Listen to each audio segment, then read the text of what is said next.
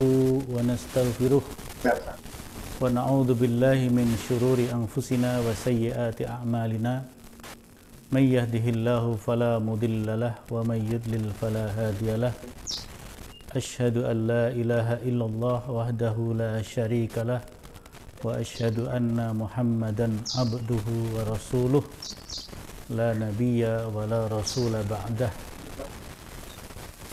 أما بعد Alhamdulillah Bapak Ibu sekalian pada pagi ini kita dapat bertemu kembali untuk melakukan kajian yaitu kajian tarjih secara virtual. Ini merupakan lanjutan dari kajian hari Selasa yang lalu karena tema yang kedua pada Selasa yang lalu tidak sempat kita bahas ya. Karena waktunya ya. Masalah Jumat online cukup panjang urean yang diberikan oleh tim fatwa majelis tarjih ya. Tapi intinya ya, intinya sholat Jumat secara online menurut majelis tarjih tidak memenuhi syarat dan rukun serta kaifiah melaks melaksanakan sholat Jumat. Ya. Boleh kita simpulkan bahwa sholat Jumat secara online adalah tidak sah. Ya. Karena banyak hal di situ yang menjadi problematik, ya. problem tempat. Ya tempat tidak dalam satu tempat dan kemudian apa namanya posisi antara imam dan makmum juga tidak jelas ya. makmumnya di mana imamnya di mana mestinya imam kan harus yang berada di paling depan posisinya paling dekat ke arah Ka'bah atau ke arah kiblat tapi dalam pelaksanaan sholat Jumat online bisa jadi uh, imamnya di belakang, makmumnya di depan itu jadi masalah.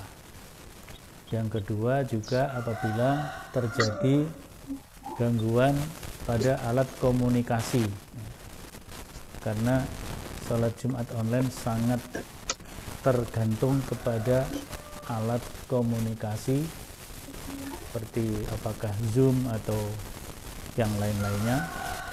Sehingga kalau ada gangguan diputus eh, sehingga sholat dan khutbah Jumat online itu akan akan terganggu bahkan mungkin eh, gagal dilaksanakan. Dengan begitu maka sholatnya juga tidak sah. Oleh karena itu majelis tarjih me memfatwakan atau menyarankan menasihatkan kepada kita warga Muhammadiyah untuk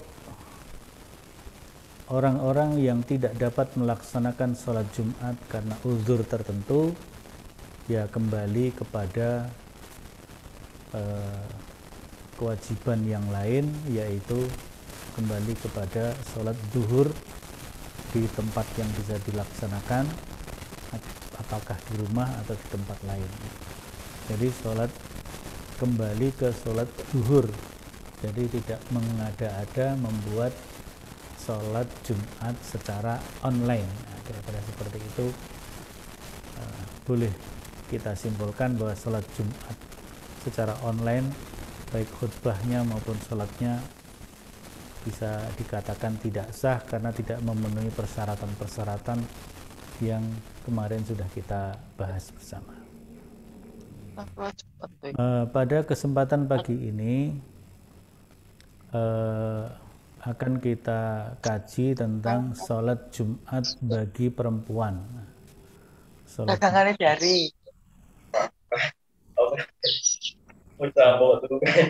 sholat Jumat bagi wanita atau bagi perempuan.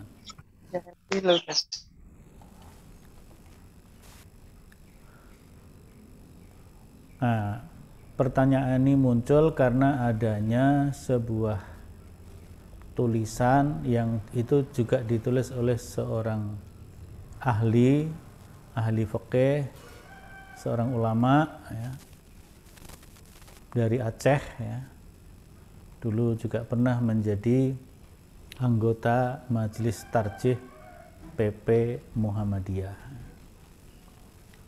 Kemudian juga ada tokoh yang lain yang juga dari Aceh yang jauh sebelum itu yaitu Profesor Tengku Hasbi As-Siddiqi yang beliau punya pandangan bahwa di hari Jumat tidak ada zuhur.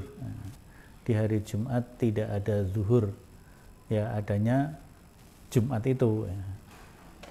tetapi sebenarnya pandangan seperti itu dasar dalilnya tidak terlalu kuat ya ya karena sebelum datangnya kewajiban sholat Jumat yang dilakukan oleh Nabi Shallallahu Alaihi Wasallam ya sebelumnya ya sholat lima waktu itu salah satunya sholat duhur.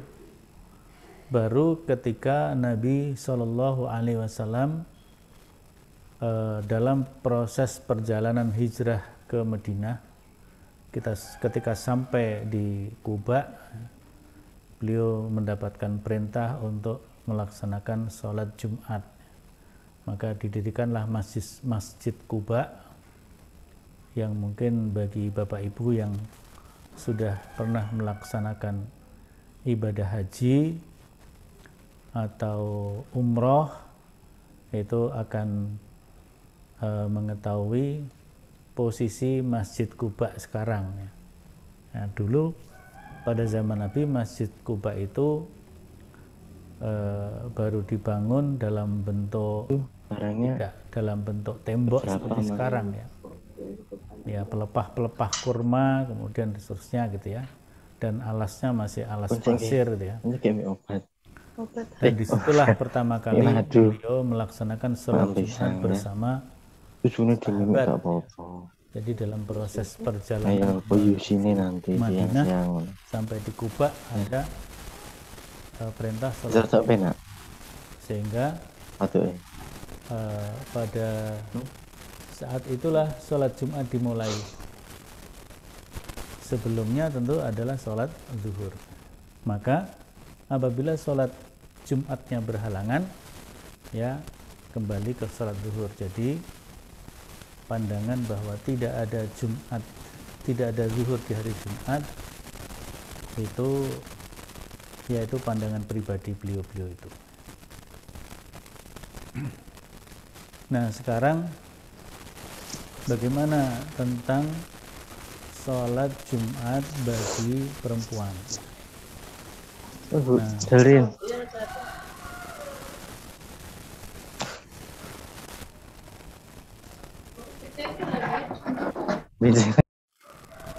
Sholat Jumat bagi perempuan pada dasarnya pernah dibahas dalam Munas Tarjih Muhammadiyah ke-26 di Padang Sumatera Barat pada tahun 2003 ya di antara dalil-dalil yang dikemukakan yang pertama adalah tentu ayat dari surat Al-Jum'ah ayat 9 ya, yang sering kita baca. Ya ayyuhalladzina amanu idza nudiya lis-salati mi yaumil jum'ati fas'au ila zikrillah wa dzarul bai' Zalikum khairul lakum in kuntum ta'lamun. Kalau dari ayat ini seluruh kaum beriman ya ayyuhalladzina amanu itu tidak terbatas laki-laki saja tapi laki-laki dan perempuan ya. Jadi orang-orang yang beriman ya ayyuhalladzina amanu ayat-ayat yang seperti itu meskipun kalau secara ilmu bahasa alladzina amanu itu adalah kaum laki-laki. Tapi ayat yang seperti itu e, ditujukan kepada semua laki-laki dan perempuan. Jadi tidak tidak dengan ya ayyuhalladzina amanu wa ya ayyatuhal lati amanna tidak begitu ya. Tetapi ya ayyuhalladzina amanu itu sudah semuanya. Tetapi kemudian ada hadis Nabi Shallallahu Alaihi Wasallam yaitu hadis riwayat Abu Dawud dari Torik bin Shihab. Nabi mengatakan al jum'atu hakun wajibun fi ala kulli muslimin fi jama'atin illa arba'ah. Jadi uh, sholat Jumat itu adalah wajib ya. Sholat Jumat adalah wajib bagi setiap muslim fi jamaatin yang dilaksanakan secara berjamaah illa arba'ah kecuali empat golongan. Yang pertama abdun mamlukun hamba sahaya. Awim ro'atun atau perempuan. Au sobiyun atau anak-anak. Au maridun atau orang yang sedang sakit. Itu hadis riwayat Abu Dawud uh, hampir uh, hadis yang hampir sama yaitu hadis dari Baihaqi uh, diriwatkan melalui jalur Abu Musa al Ashari ya. bunyinya bersama al jumu'atu hakun wajibun ala kulli muslimin fi jama'atin illa arba'ah abdun mamlukun awim ro'atun au sobiyun au maridun jadi ini hadisnya sama tapi perawinya yang berbeda.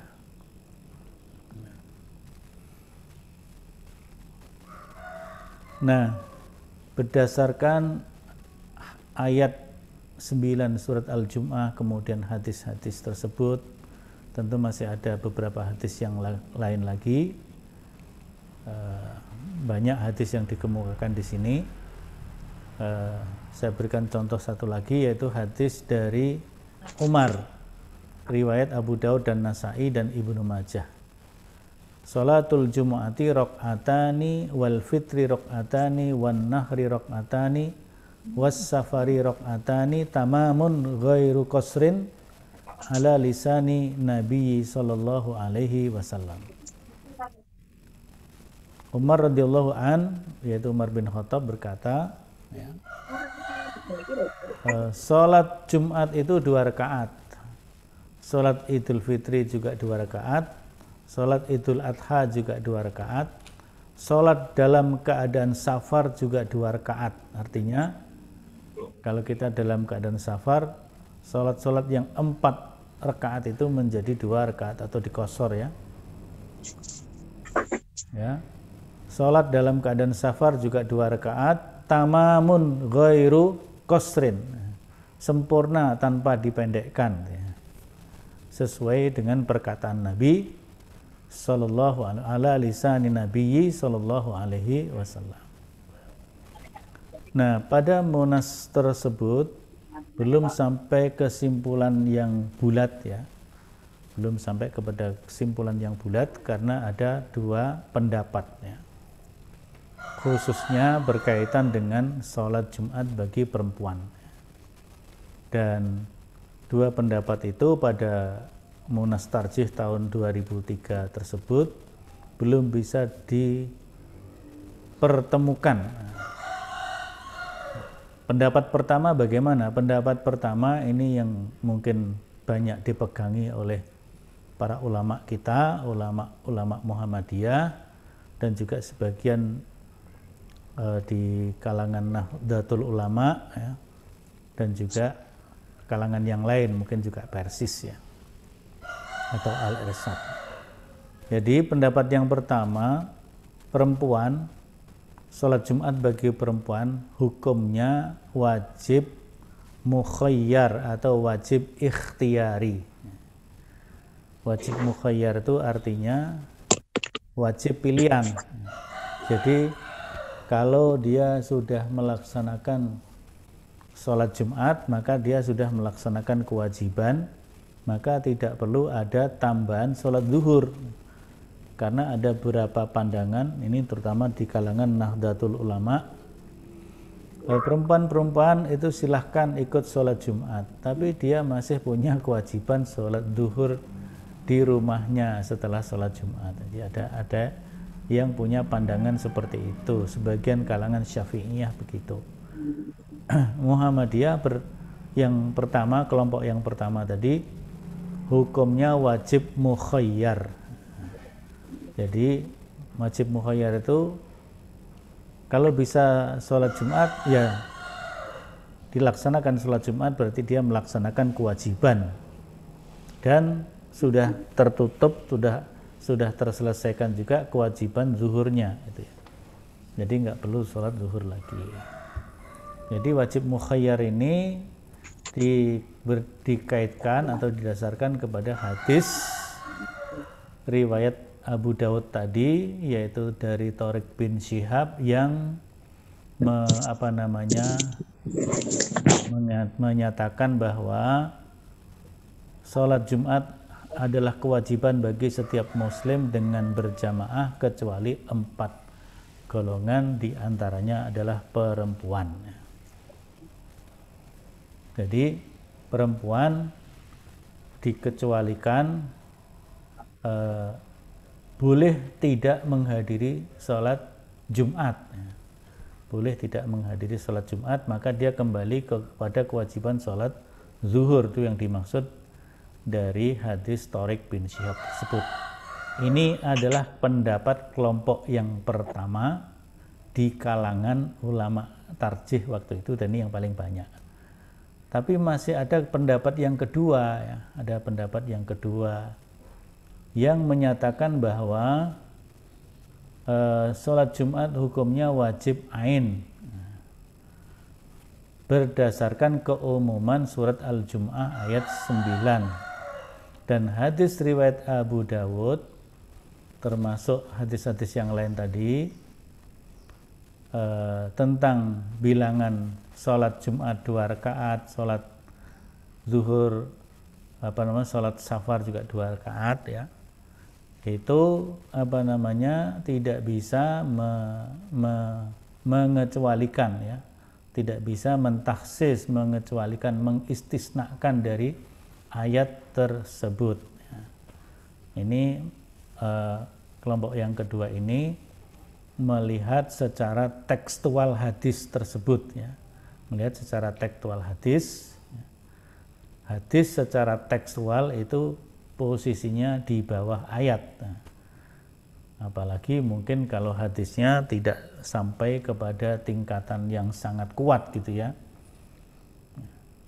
ada beberapa hadis yang dinyatakan eh, bahwa pengecualian sholat Jumat atas perempuan itu dinyatakan doif ya dinyatakan doif ya. jadi secara tekstual hadis itu dinyatakan doif ya. mungkin karena ada periwayatannya tapi juga ada dari sifatan ya Nah, ada yang mengatakan dari segi matan yang Torik bin Syihab itu ada kelemahannya karena empat golongan itu mungkin kalau hamba sahaya bisa diterima. Perempuan mungkin bisa diterima karena mungkin uh, kesibukan dengan kalau masih punya anak kecil apalagi begitu. Tapi ketika anak-anak anak-anak ini yang dimasalahkan. Anak-anak kan memang belum punya kewajiban apa pun ya, sehingga hadis ini dinyatakan ada unsur kedoifannya dari segi matan. Ya. Sehingga dengan begitu eh, hadis tersebut tidak bisa mengecualikan, ya, memberikan pengecualian terhadap kewajiban umum. Maka pendapat yang kedua bahwa sholat Jumat hukumnya wajib ain bagi semuanya laki dan perempuan. Jadi tidak ada pengecualian. Nah, dengan begitu, perempuan yang tidak bisa datang ke masjid, maka ketika di rumah pun dia sholat Jumat. Apalagi kemudian dikaitkan tidak ada zuhur di hari Jumat. Ini pendapat yang kedua seperti itu. Karena tidak bisa dipertemukan, akhirnya uh, Munas Tarjih tidak mengambil keputusan yang tegas dan mengembalikan kepada pimpinan pusat untuk dikaji kembali, untuk dikaji ulang. Nah, kemudian eh, Majelis Tarjih, PP Majelis Tarjih eh, berpandangan ya sementara menunggu keputusan Majelis Tarjih dan Tasdid persoalan sholat Jumat bagi perempuan dan yang berkaitan dengan itu tidak perlu diperuncing apalagi sampai menimbulkan perpecahan. Jadi artinya sebelum ada keputusan yang tegas ya silahkan yang punya pendapat ya. Mojib mukhayyar dan itu yang paling banyak tapi ada yang punya pendapat tadi wajib ain, ya silahkan saja dengan pendapatnya masing-masing saling menghormati. Nah kemudian eh, majelis ber, berpandangan bagi orang yang tetap berpegang kepada riwayat Torik bin Syihab dan hadis-hadis yang sejenis seperti Abu Musa al-As'ari yang dipandang sebagai tahsis pengkhususan untuk empat golongan termasuk di dalamnya adalah perempuan. Ya. Sholat yang pokok bagi perempuan menurut pandangan Majelis Tarjih adalah sholat zuhur empat rakaat. Tapi bagi orang yang berpendapat bahwa kedua hadis tersebut lemah dan berpegang kepada hadis Umar, maka pada waktu siang hari Jumat atau waktu zuhur yang pokok bagi laki-laki dan perempuan menurut kelompok yang kedua tadi adalah sholat Pak rasa metu suara niki Pak? dua rakaat. Pak rasa metu suara piye ini siapa ini? Ayo. Yang nggak metu suara ini siapa ini? Di mute di mute.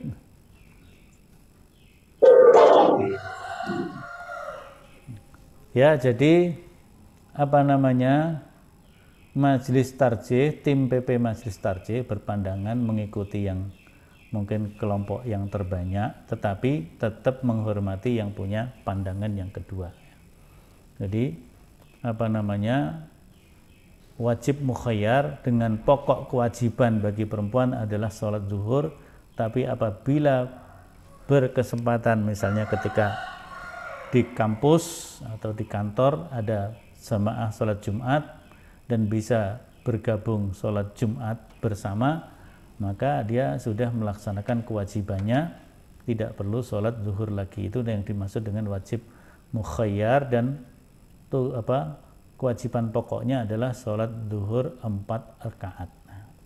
Tetapi kalau mengikuti kelompok yang kedua, maka bagi perempuan yang tidak bisa bersama sholat berjamaah, maka dia tetap melaksanakan sholat Jumat dua rakaat meskipun tidak berjamaah. Ini pendapat yang kedua seperti itu. Ya. Jadi ma majelis tarjih berpandangan ini memang juga belum bisa di, diputuskan secara tegas mana yang dipakai. Tapi kalau melihat HPT, Himpunan Putusan Tarjih yang lama, bahwa e, majelis tarjih berpandangan bahwa e, yang tidak bisa sholat Jumat kembali ke sholat duhur berarti ibu-ibu yang tidak bisa hadir di sholat Jumat ya sholat sendiri atau berjamaah dengan sesama perempuan dengan melaksanakan sholat zuhur di tempatnya bisa di rumahnya atau di kantornya dan sebagainya. Jadi kalau boleh dikatakan majelis tarjih secara nasional, secara umum yang yang jumhur ya, yang mayoritas berpandangan bahwa perempuan dalam melaksanakan sholat Jumat hukumnya wajib mukhayyar. Ya. Jadi kalau bisa sholat Jumat ya laksanakan Jumat, nggak bisa kembali ke zuhur. Ini juga dikuatkan e, ketika apa namanya fatwa tarjih dalam maklumat PP Muhammadiyah berkaitan dengan ibadah di masa pandemi. Ya. Ketika ibadah di masa pandemi dan dulu belum ada alternatif-alternatif, sholat Jumat ditiadakan untuk sementara, sholat taraweh waktu itu puasa tahun lalu juga begitu ditiadakan. Dalam arti di masjid, sholat tarawehnya silahkan dilaksanakan di rumah masing-masing. Dan khusus untuk sholat duhur, eh, sholat Jumat, karena tidak bisa dilaksanakan sholat Jumat di masjid, maka kita laksanakan sholat duhur di rumah masing-masing. Artinya di sini majelis tarjih berpandangan bahwa secara umum eh, Jumat bagi perempuan hukumnya wajib ikhtiari atau wajib mukhayyar. Ini yang perlu kita pahami. Wajib mukhayyar. Wajib mukhayyar itu wajib pilihan bisa milih sholat Jumat atau milih sholat duhur itu bagi perempuan seperti itu. Ini simpulannya seperti itu. Meskipun ada sebagian kecil dari warga atau ulama Muhammadiyah yang berpandangan tadi sholat Jumat wajib ain sehingga kalau nggak bisa ikut berjamaah Jumat tetap laksanakan sholat Jumat dua rakaat di waktu zuhur pada hari Jumat itu di rumahnya masing-masing atau di kantornya ya. Kalau sedang di kampus nah karena apalagi kita lihat masjid kita kalau hari Jumat itu sangat penuh ya. Seperti Masjid Sudal, itu kalau hari Jumat ya, apalagi sebelum pandemi dulu mahasiswa semuanya ada di kampus karyawan dosen juga begitu. E, tempat yang biasa dipakai untuk ibu-ibu untuk jamaah perempuan pun penuh oleh jamaah laki-laki sehingga perempuan tidak bisa melaksanakan sholat Jumat di masjid Sudal Miyah Rais. Maka ibu-ibu eh, setelah sholat Jumat selesai para jamaah makmum laki-laki berpindah tempat karena akan dipakai ibu-ibu maka ibu-ibu melaksanakan sholat zuhur setelah sholat Jumat selesai sehingga ya seperti itu simpulannya e, untuk sholat Jumat bagi perempuan.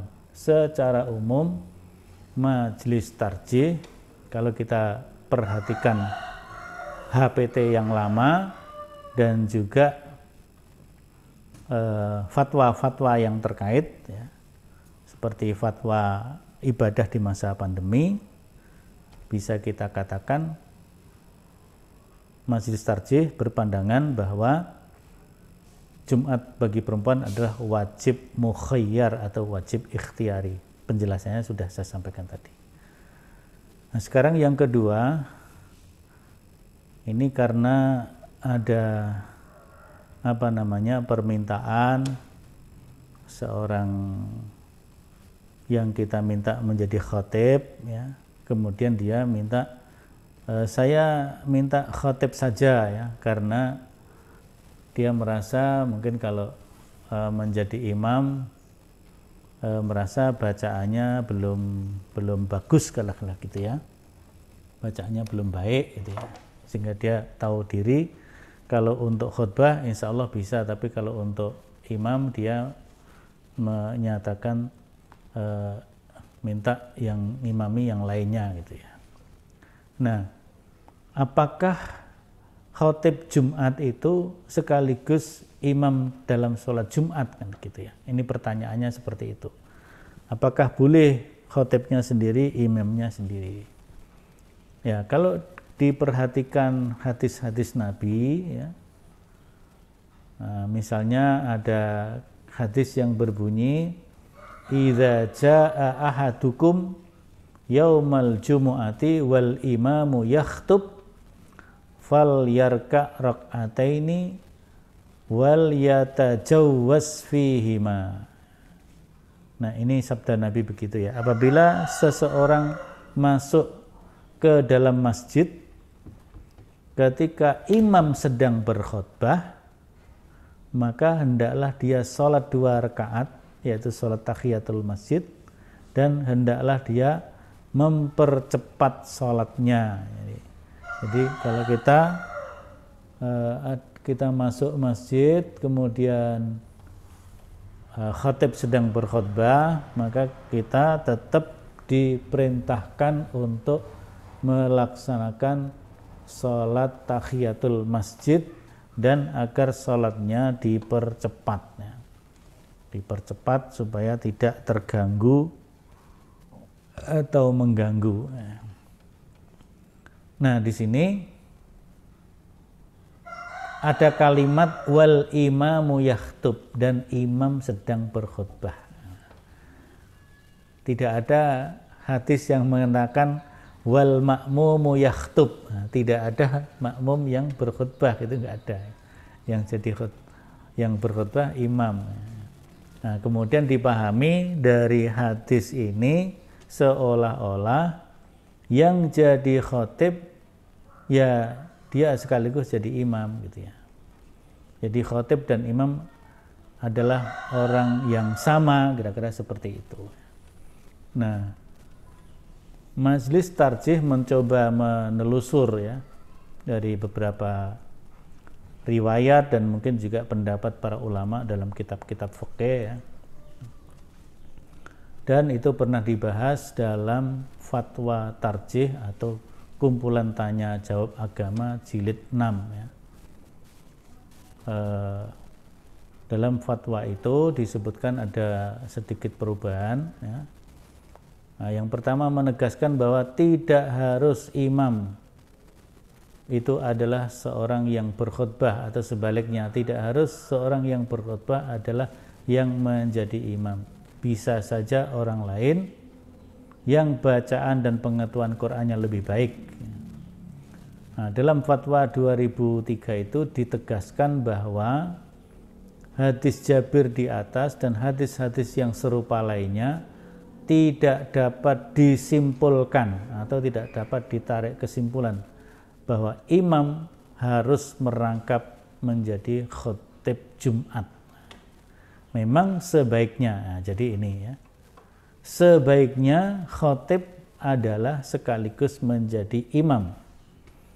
Tentu apabila khotib tersebut memenuhi syarat untuk menjadi imam. Nah, bisa jadi ada yang orang berkhutbah, khutbahnya bagus. Ya. Isi khutbahnya bagus, menarik, dan apa namanya memberikan uh, nasihat yang bagus, memberikan inspirasi yang bagus kepada jamaah ya. Sehingga menjadi muslim mukmin yang baik dengan tausiah yang diberikan dalam khutbah itu. Tapi selesai khutbah dia maju menjadi imam. Ketika jadi imam bacaannya panjang pendeknya. Nggak benar, makhorijul hurufnya tidak ter tertata dengan baik ya. Nah, maka e, khutbah yang tadi sudah diterima dengan baik itu menjadi menjadi masalah ya.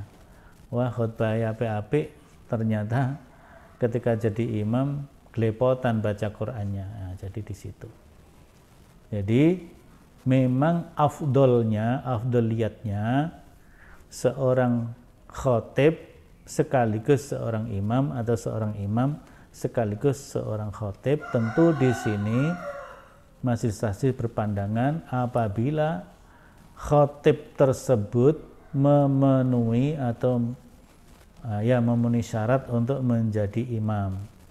Syarat jadi imam itu ya bacaannya lebih bagus. Akro wa afsoh ya.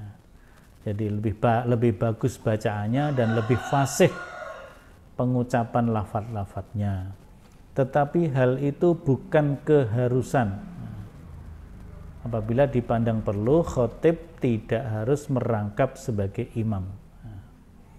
Dikatakan pula bahwa Nabi SAW memang selalu menjadi khotib dan imam itu merupakan sunnah fi'liyah dari Nabi yang tidak menimbulkan keharusan untuk melakukan atau untuk mengikutinya.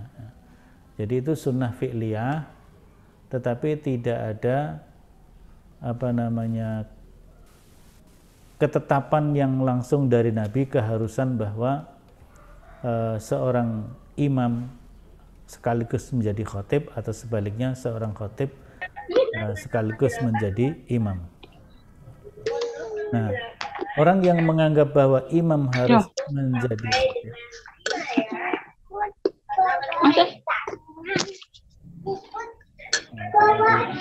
mute dulu ya, Bu Nur Komariah itu ya, di mute dulu ya.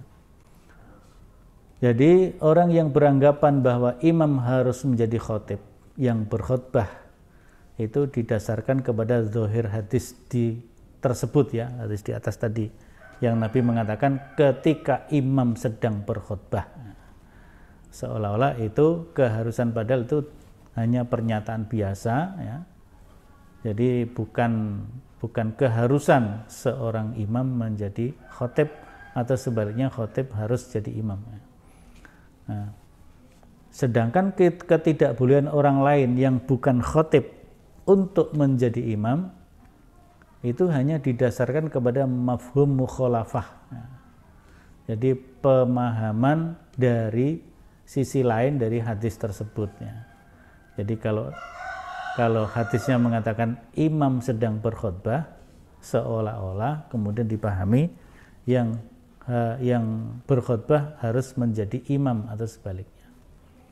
Maka dalam fatwa tahun 2003 penggunaan mafhum mukhalafah dari hadis tersebut untuk mengingkari kebolehan orang yang bukan khotib menjadi imam itu sudah di, ditolak ya. Artinya eh, apa namanya? seorang khotib tidak mesti harus menjadi imam atau sebaliknya seorang imam tidak harus menjadi khotib hanya memang yang afdol imam dan khotib itu satu orang saja apabila memang betul memenuhi syarat. Nah, alasan ditolaknya adalah bahwa keterangan kualifikasi yang harus dimiliki oleh orang yang berkhutbah didasarkan kepada hadis tersebut tidak merupakan penjelasan alasan hukum melainkan hanya penjelasan hal saja yaitu seorang imam yang kebetulan berkhutbah ya. seorang imam yang sedang berkhutbah. Tidak keharusan imam harus yang menjadi khotib nah, untuk mudahnya dapat dikatakan bahwa berkhutbah bukan alasan atau ilat hukum agar orang boleh menjadi imam oleh karena itu bisa saja imam adalah orang lain yang bukan khatib. Ini apa namanya? Untuk mengatasi berbagai problem ya. Sekaligus mengatasi berbagai problem karena memang tidak ada e, pernyataan yang tegas dalam dohir nas yang mengharuskan imam adalah khotib, khotib adalah imam. Nah, jadi dengan begitu maka mungkin kita juga bisa melakukan manajemen sebaiknya di masjid itu. E, ketika kita menjadwal khotib seseorang menjadi khotib atau melakukan khutbah kita siapkan imamnya ya, atau kita telusur kita ketahui rekam jejak bacaan Al-Qur'annya sehingga kemudian nanti kita jadwalkan kalau si A ini menjadi khotib karena bacaannya kurang bagus nah, tentu kita rahasiakan tidak diumumkan ya. Maka kemudian kita siapkan imamnya si A khotibnya si B dan seterusnya.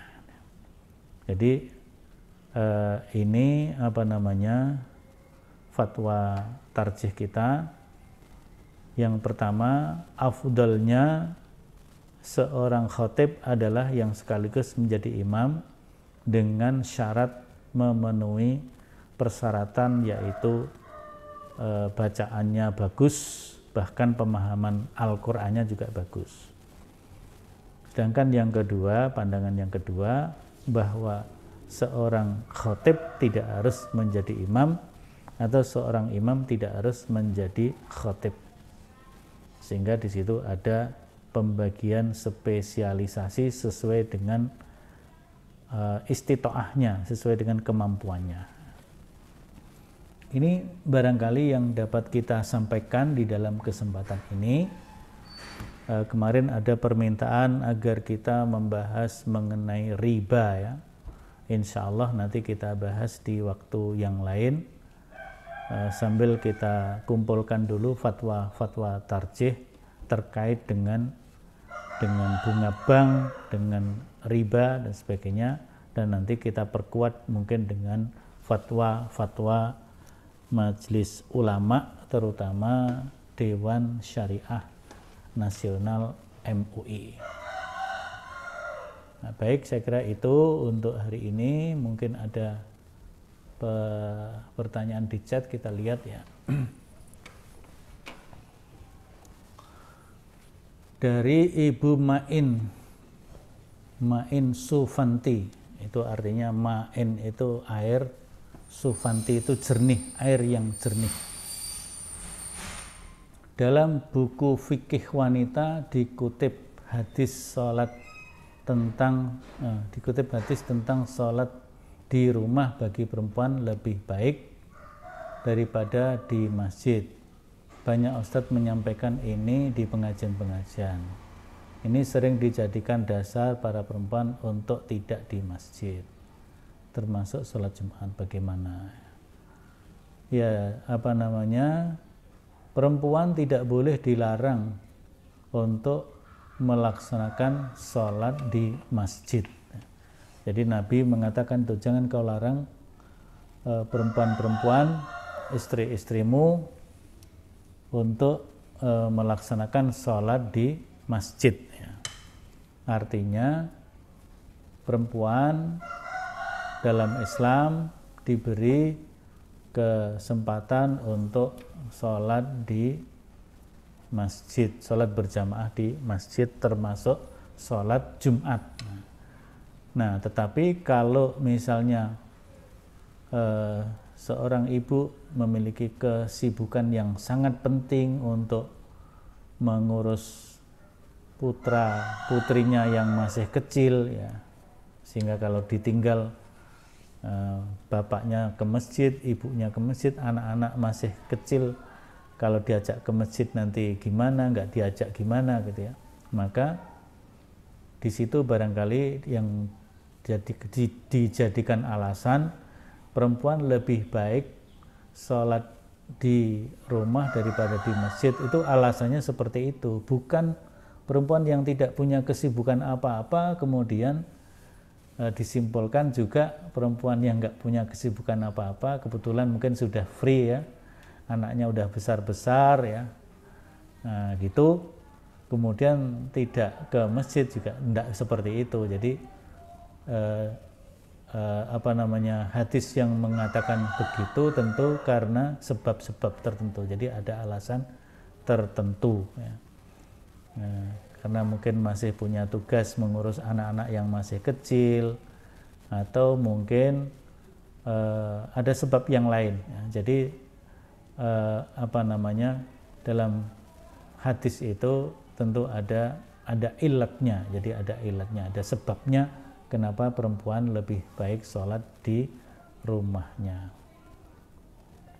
kemudian dari Pak Sujiono Bagaimana kedudukan mengikuti khutbah Jum'ah mengingat sekarang banyak orang yang sengaja saat khutbah santai di luar setelah khutbah selesai baru masuk masjid. Nah, ya itu tentu tidak me, apa ya kan kita diwajibkan untuk mendengarkan dan memperhatikan khutbah Jum'ah itu ya. Kalau kita sholat Jumat di masjid, ya kita masuk ke masjid. Kan afdalnya orang yang paling datang pertama. Orang yang paling datang pertama ke masjid, paling pagi datang ke masjid, itu mendapatkan pahala seperti berkorban seekor unta. Ya Nanti kalau dia datang pada yang kedua seperti berkorban seekor sapi. Datang yang ketiga seperti berkorban seekor kambing dan seterusnya. Yang paling kecil yang paling ini seperti berkorban seekor dajajah, seekor ayam dan seterusnya gitu. Artinya di sini Eh, seorang yang menghadiri sholat Jumat dianjurkan untuk e, masuk masjid selama memang masjidnya masih cukup. Nah, sekarang kan sudah di apa namanya di masa pandemi ini kemudian beberapa masjid menambah kapasitas dengan menggelar tikar di halaman atau di di apa emperan gitu ya diberi iup-iup gitu ya. Artinya apa namanya? Kita harus sholat Jumat ya bergabung dan mendengarkan uh, khutbah dengan baik bahkan diperintahkan untuk tetap melaksanakan sholat tahiyatul masjid bukan santai-santai di luar apalagi rokokan ya rokokan sambil ngobrol lah itu itu jelas uh, tidak melaksanakan sholat Jumat dengan baik itu pertanyaan dari Pak Sujiono ya. Monggo kalau ada masih ada yang mau bertanya secara langsung karena yang di chat kayaknya sudah habis.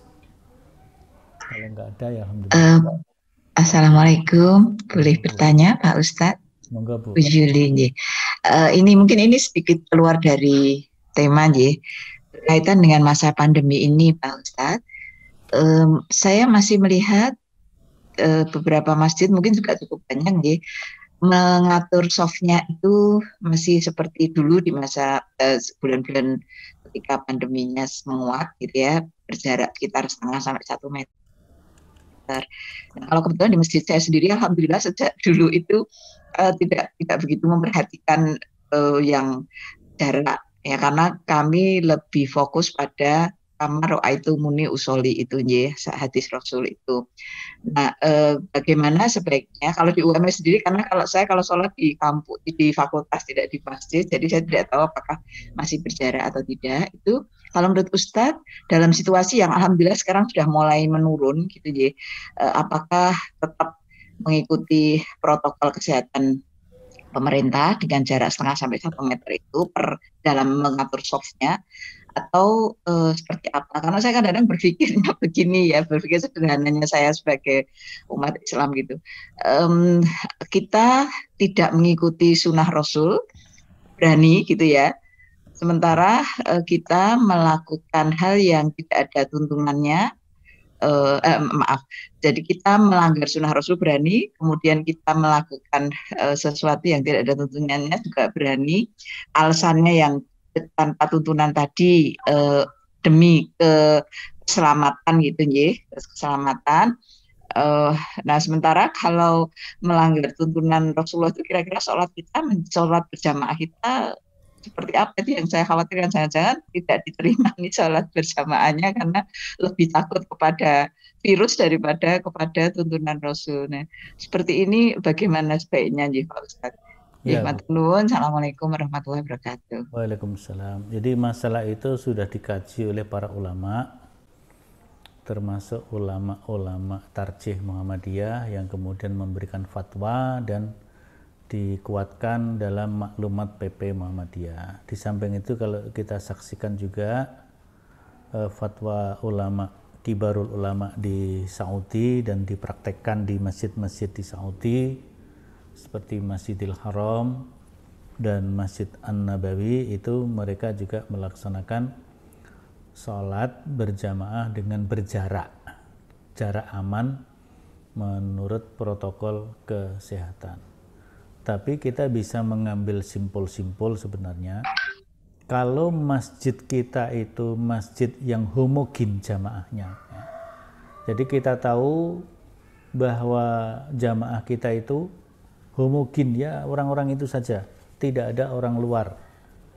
Sehingga kita menjadi tidak tahu eh, menjadi tahu bahwa ya jamaahnya udah itu udah keluarga kita mungkin satu RT atau satu RW ya udah nggak ada jamaah dari luar. Seandainya itu sudah kita ketahui bersama kemudian insya Allah juga sehat-sehat semuanya uh, tidak ada ini mungkin bisa Eh, kemudian sholatnya dilaksanakan secara normal tidak uh, apa namanya soft berjarak ya soft renggang ya. Tapi kalau masjid-masjid itu berada di luar ya di jalan banyak orang mampir ya nah, pertimbangan misalnya Masjidil Haram dan Masjid Nabawi itu kan jamaknya sangat heterogen ya. mungkin dari berbagai, bahkan berbagai negara tidak hanya berbagai kota, berbagai provinsi, bahkan berbagai negara hadir berkumpul di masjid itu, maka untuk menjaga itu, maka kemudian para ulama ber, berkesimpulan atau ber, memfatwakan eh, apa namanya softnya berjarak jadi soft berjarak itu memang secara tekstual menyelisihi sunnah Rasul. Rasul meminta kepada para imam agar mengingatkan makmum sawu sufufakum fa inna taswiyatas sufuf min tamamis shalah gitu kan.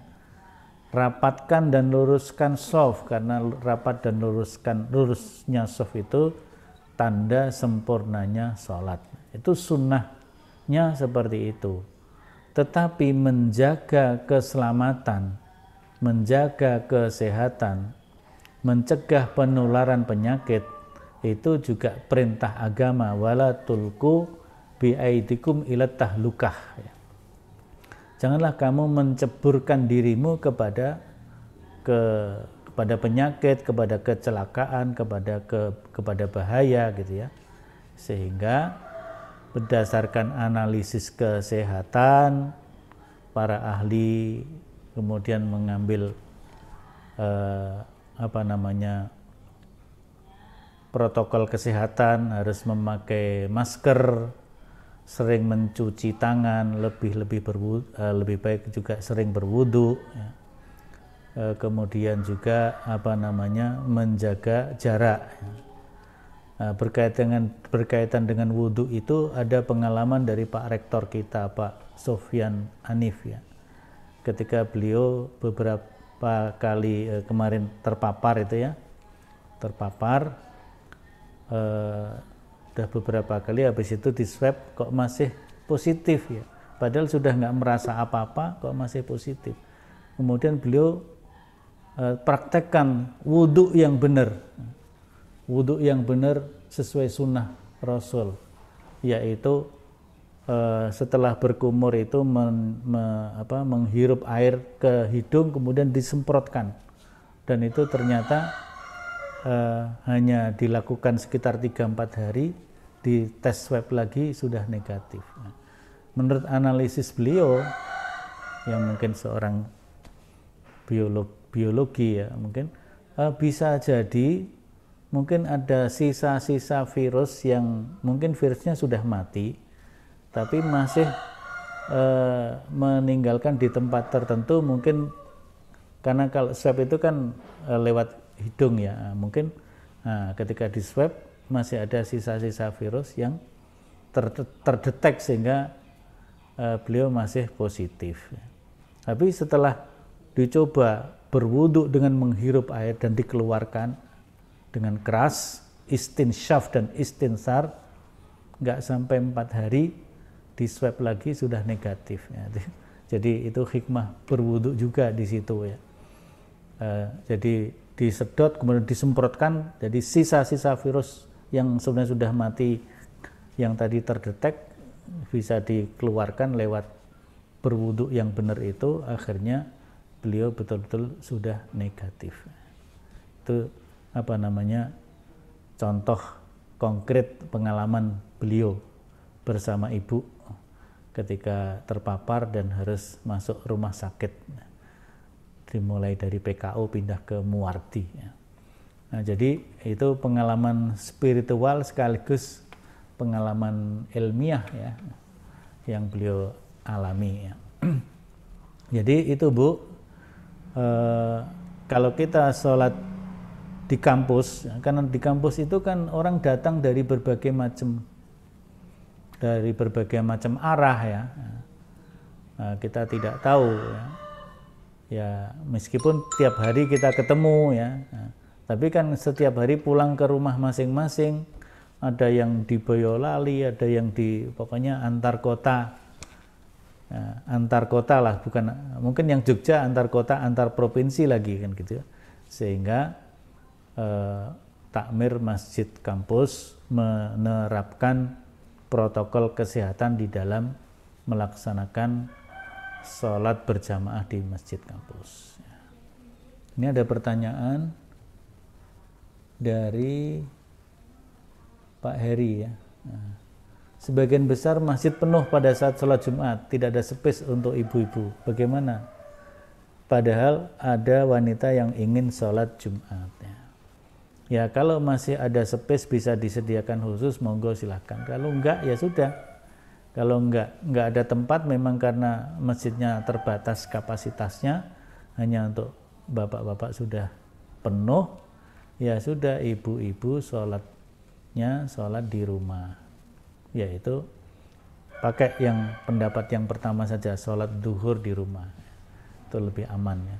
Daripada yang kedua yang secara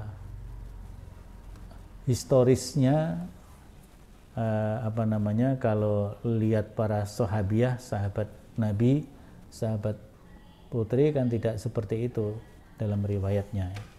Jadi kalau nggak bisa sholat Jumat ya sholat duhur gitu ya. Tidak sholat Jumat di rumah sendirian. Kemudian ada pertanyaan dari Pak Mariana bolehkah sholat duha dilaksanakan tepat setelah sholat isyrok di awal duha? Ya boleh saja ya karena sholat isyrok itu sebenarnya sholat awal duha. Ya. Jadi setelah sholat isyrok, setelah matahari terbit, kita sholat sunnah isyrok, kemudian dilanjut dengan sholat duha. Boleh, monggo. Saya kira itu Bapak Ibu sekalian kita cukupkan untuk kajian kita pada pagi hari ini. Mudah-mudahan apa yang kita kaji bermanfaat bagi kita. Masih ada satu Ustadz. Oh masih ada satu, monggo Bu. Itu tahiyatul masjid di jalan. Itu pertanyaannya Pak Daru. Apa? Bolehkah tahiyatul masjid di jalan mengingat keterbatasan? Pertanyaannya Pak Daru Prabowo. Tahiyatul masjid di jalan. Karena masjidnya penuh itu maksudnya ya? Mungkin. Kalau karena masjidnya penuh, ya kita sholat tahiyatul masjid di mana saja yang bisa kita lakukan tapi masih bersambung jamaah itu dengan masjid itu. Berarti kalau kita di Masjidil Haram itu bisa saja bisa jadi kita sholat Jumatnya itu sudah sangat jauh dari masjid ya. Tapi kan softnya itu masih bersambung ke depan sampai Masjidil Haram. Itu ya sholat tahiyatul masjid yang seperti itu bukan hanya dibolehkan ya dianjurkan tetap sholat tahiyatul masjid begitu Bu. Bu Main tadi pertanyaan dari Pak siapa? Saya nggak baca karena apa namanya chat-chat yang lebih dulu mungkin nggak terbaca. Di atasnya Pak Heri Pak. Oh di atasnya Pak Heri. Oh iya. Karena ke, kalau kan ada alasan karena keterbatasan ya, ya. Jadi kalau yang pertama tadi orang nggak mau masuk masjid karena ingin santai-santai di luar itu lain masalah ya. Jadi apa namanya kalau sudah bergabung sholat Jumat ya mestinya masuk masjid selama kapasitasnya masih masih itu cukup. Kalau enggak di luarnya masih enggak cukup lagi di jalan ya nggak apa-apa. Tetap bagian dari eh, sholat jamaah Jumat tadi. Bukan kemudian menyelenggarakan sholat Jumat yang online tadi ya. Nah, saya kira begitu Bapak Ibu sekalian kita cukupkan kurang lebihnya mohon maaf mari kita tutup bersama dengan kafaratul majlis subhanakallahumma wa bihamdika wa atubu ilaik Terima kasih Ustaz. Amin. Nasrul minallah wa fadl qarib. Wassalamualaikum warahmatullahi wabarakatuh.